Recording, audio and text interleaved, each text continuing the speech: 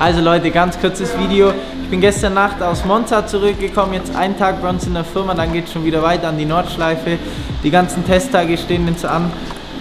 Morgen wird veröffentlicht, was, was ich nächstes Jahr fahre, beziehungsweise ein Teil davon. Ähm, jetzt bin ich heute noch mal ganz kurz hier. Ich habe eine E-Mail bekommen, meine neuen Felgen sind da, was Wahnsinn ist. Und zwar kommt mal mit. Ihr seht hier Lukas Straßenauto von Motec. Bin so dankbar, weil, ja, ich habe es ja schon aufgemacht, ich gebe es zu. Aber schaut mal rein, eine Hammerfelge.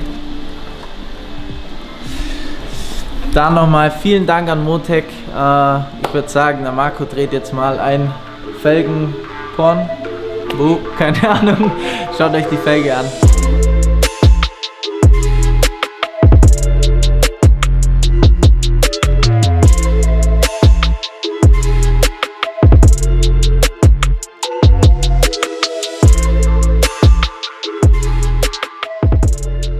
So, ihr habt es gesehen, eine Wahnsinnsfelge. Vielen, vielen Dank.